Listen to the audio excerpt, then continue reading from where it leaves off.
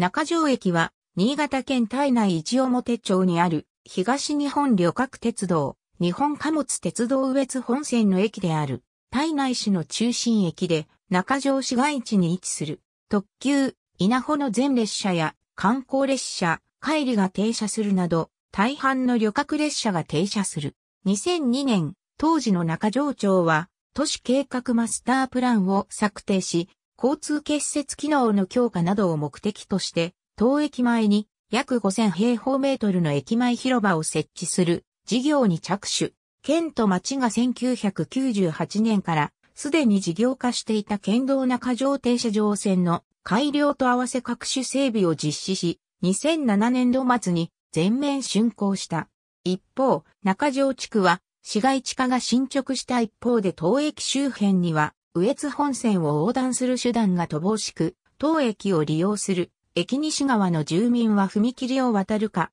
大きく迂回して古線橋を通行するしかない状況が長らく続いていた。特に踏切付近では朝のラッシュ時には列車の通過待ちによる渋滞もしばしば発生していた。体内市の新設合併後である2006年には市の施策計画として第一次体内市総合計画が策定され、それを踏まえて、都市計画マスタープランも策定された。このマスタープランには、東側のミニシカ駅舎がなかった、当駅に新たに西口を新設する、中条駅、西口周辺整備事業が新規事業として盛り込まれた。基本構想案では、駅西側に西口駅前広場を整備し、自由通路を併設した橋上駅舎を建設するというもので、敷地には JR 貨物の配線時期が活用されることとなった。この事業は第13回町高大賞を受賞。2018年7月に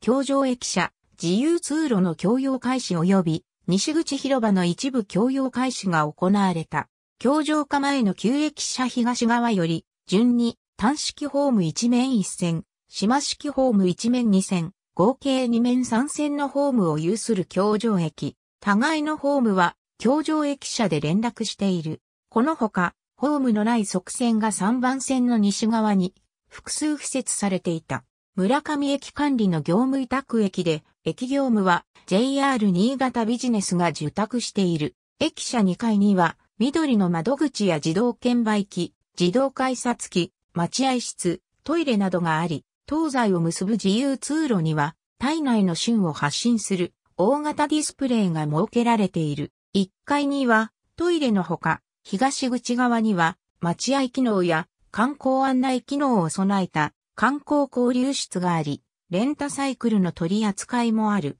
東口、西口のエントランス部と両ホームには階段の他エレベーターが設置されている。前述の事業により東口及び西口に駅前広場が整備され、ロータリー化されている。東口には広場に隣接して、パークライドとしても利用できる駐車場が設けられている。また、12月から2月頃まで東口の桜のライトアップが行われる。中条オフレールステーション入れ替え作業中の電気、機関車、JR 貨物の駅は、コンテナ貨物と臨時車扱い貨物の取扱い駅となっている。コンテナ輸送はトラック便によって行われる。中条オフレールステーションは JR 貨物中条駅に属し、駅舎の南側にあるコンテナ集配基地である、新潟貨物ターミナル駅との間で、トラック便が1日3.5往復運行されている。かつては、コンテナも列車で輸送されていたが、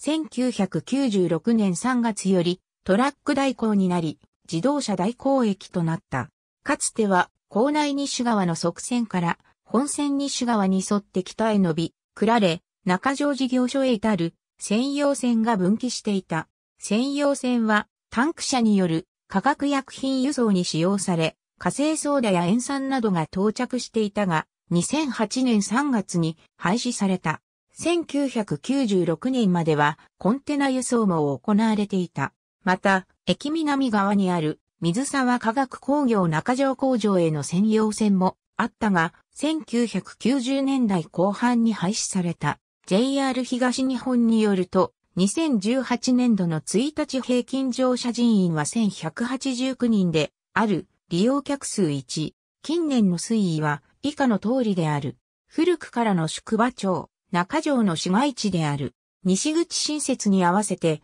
宅地分譲が行われているほか、飲食店街、西口の連街が整備された。東口ロータリー内を以下の路線が発着する。かつては、新潟交通観光バスの一般路線バスも運行されていたが2017年秋以降は、デマンド交通に一本化された。東日本旅客鉄道羽越本線快速、紅花柴田駅中条駅坂町駅、快速柴田駅中条駅坂町駅、普通金塚駅中条駅平木田駅。ありがとうございます。